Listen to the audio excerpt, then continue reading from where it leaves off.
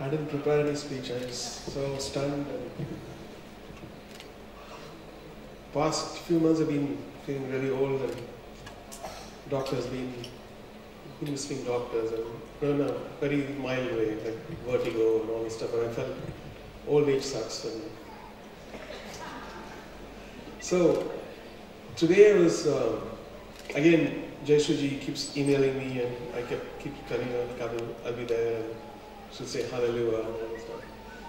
But today, when I I've been here before, today I feel so silly about thinking about old age or silly excuses about not doing things. Because all these people have inspired me so much that I'm completely re inspired to live my life and uh, to give to humanity. That's another inspiration which recharged me today.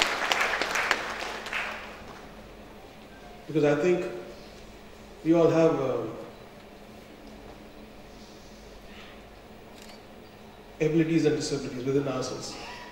It's all in the mind to to change that and to win. And they they are examples, and God bless them.